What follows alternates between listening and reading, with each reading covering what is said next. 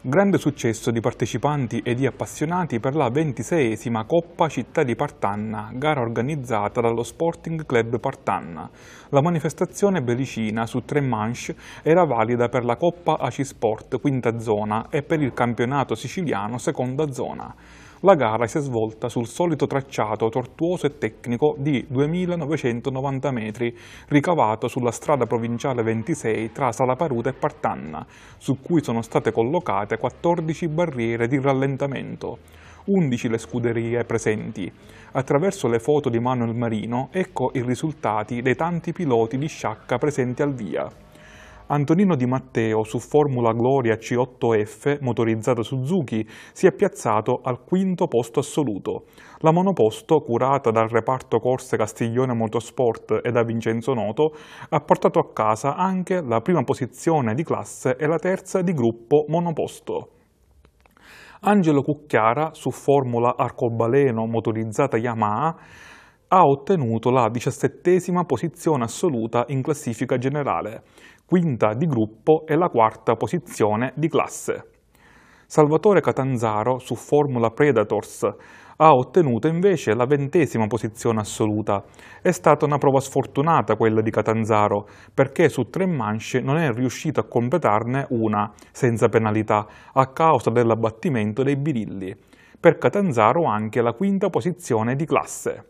Stefano Sutera su Barbone 001 motorizzata Suzuki Sport prototipo, curata e seguita dalla Sant'Angelo Motorsport, ha ottenuto invece la sedicesima posizione assoluta e la quarta posizione di gruppo.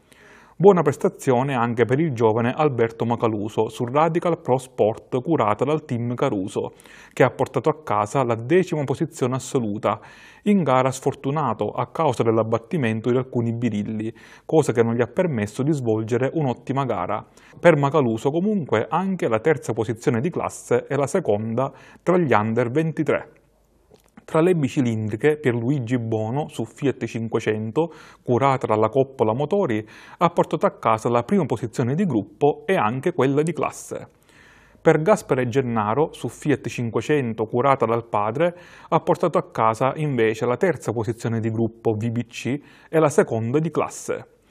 Tony Russo su Fiat 500 si è piazzato nella seconda posizione di gruppo VBC e nella prima di classe.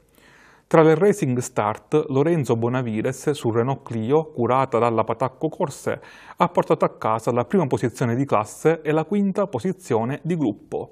Tra le Racing Start Plus, Massimo Curreri su Peugeot 106, curato dal team Oliveri Motori, ha portato a casa la seconda posizione di classe e la terza di gruppo. A seguire Giovanni Muscarnera su Renault Clio, che si è piazzato invece nella prima posizione di classe e nella seconda di gruppo.